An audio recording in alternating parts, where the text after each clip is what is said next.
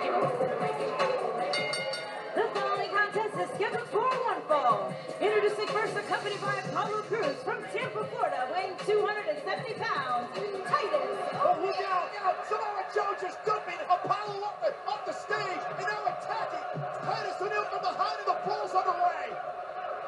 Samoa Joe with a headbutt wasting little time. Oh, there it is again. Now the clutch locked in.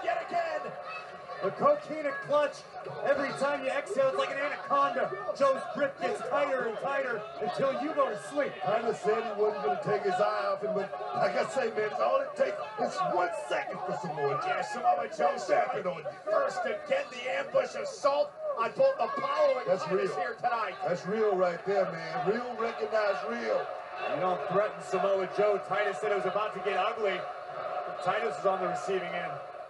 It does not matter if you're as big and powerful as Titus. It does not matter if you have the athleticism of Apollo Crews. If you stand in my way, I will put you down.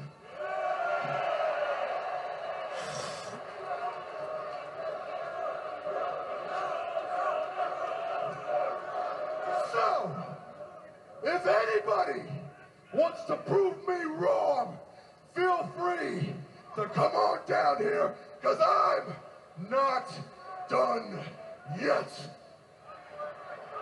Samoa Joe looking for another fight. Is anyone going to be brave enough to step up? Looking to make another statement, Corey.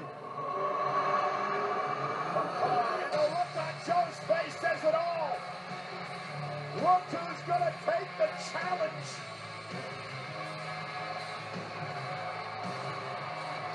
An extraordinary man who can do extraordinary things. Extraordinary. Finn Balor.